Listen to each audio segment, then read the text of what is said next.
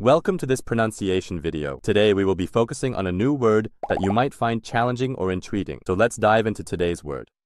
말하려, which means To say in Korean. let's say it all together. 말하려. 말하려. 말하려. One more time. 말하려. 말하려. 말하려. Thank you for joining us on this adventure in pronunciation. Remember, language is a journey, not a destination. Keep exploring, experimenting, and expanding your linguistic horizons. We'll see you next time.